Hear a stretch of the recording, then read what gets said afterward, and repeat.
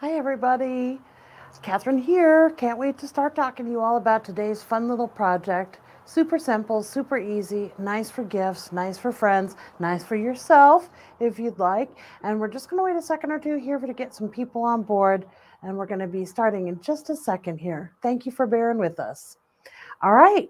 Well, hello, everybody. I'm Kathryn from the Sewing Studio at Lady Lake in the Sewing Studio Fabric Superstore. Welcome aboard. So, this week's project is going to be custom coasters, but we're going to use a part of um, our machines. Hopefully, you have one of these machines. If not, you can use your decorative stitches. But in some machines, there's a section called utility embroidery stitches. And what that does is it takes some of the decorative stitches out of your machine and turns them into embroidery. So we're going to make some coasters with our decorative stitches. So for example, You've got stitches that are super cute, like this little Halloween one. So you could do little coasters for a specific holiday, or possibly you could do it for a birthday, or possibly if you've got a cat and you're a cat lover, you could use your cat decorative stitches, or you could just use some of your beautiful decorative stitches that you have. Anyway, this whole section is seldom used and I think it's underutilized. So let's talk about how we can make these fun little coasters. Okay, so first of all, the supplies that you're going to need for this, you're going to need um, two layers of water soluble stabilizer. I find that when you're making coasters and squares, sometimes things pinch in a little bit with water soluble stabilizer, but if you use two layers of it, it doesn't seem to do it quite so badly and it just helps stabilize things a little bit better. Then when you're done, you throw them in the wash and that stuff's just going to go away.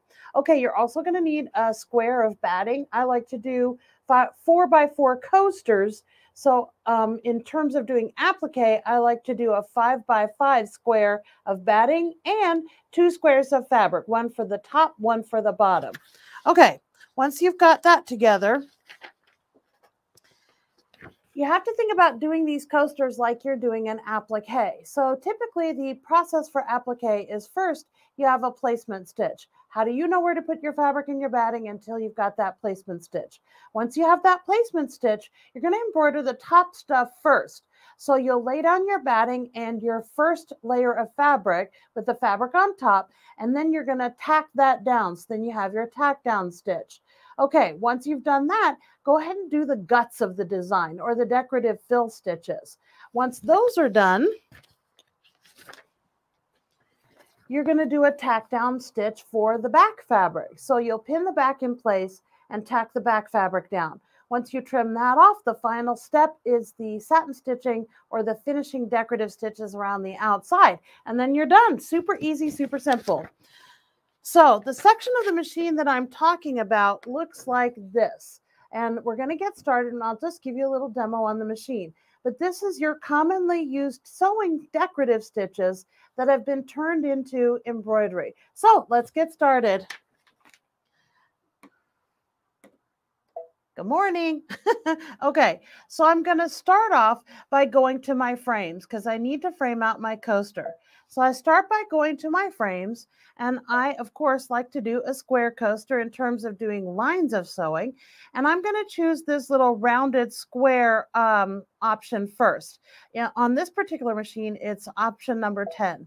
So once I've got that, I'm going to go ahead and set that onto my screen.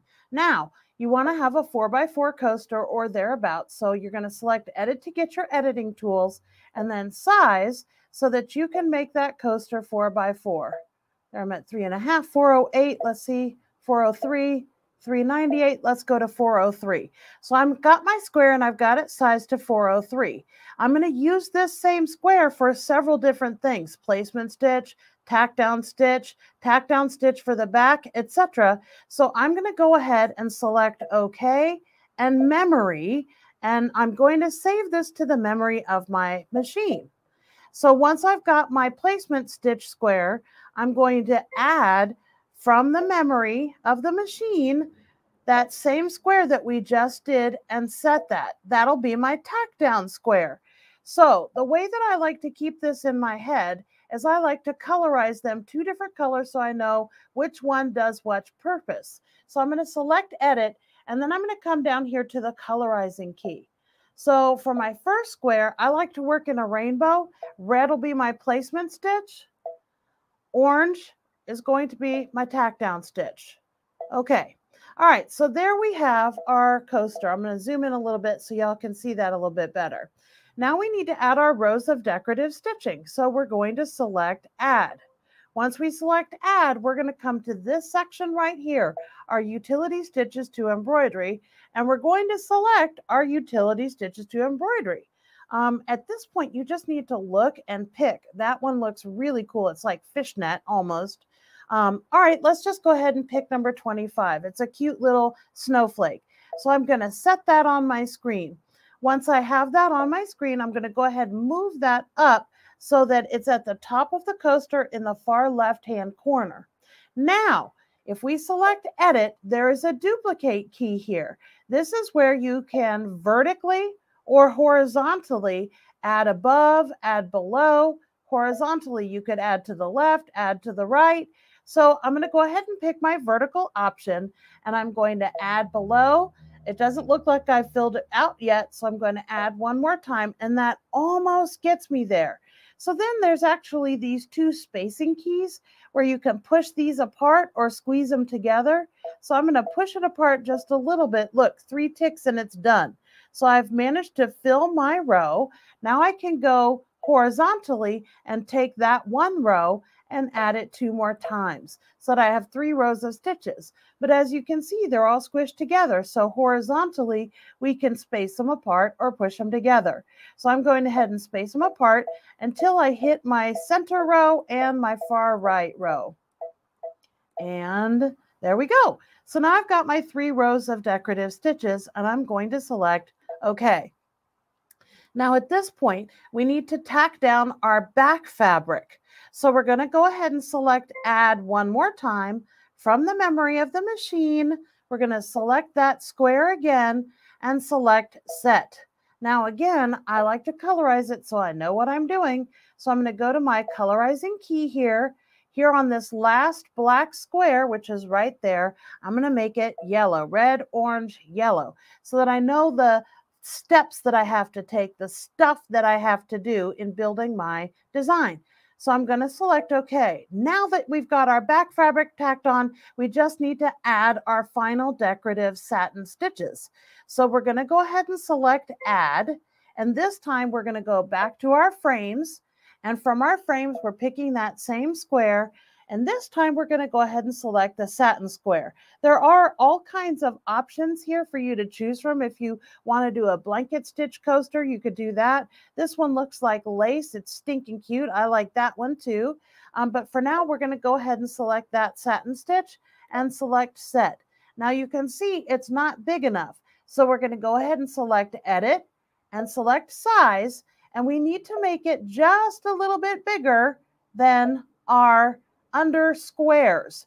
So our under squares were 403, and I'm going to make this one 419.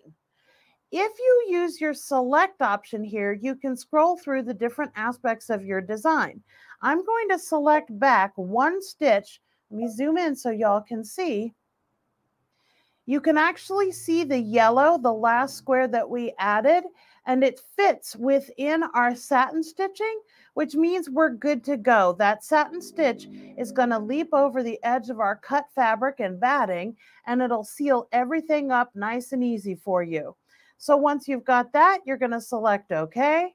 You're going to select embroidery, and there you have your coaster, and you're ready to go stitch it out.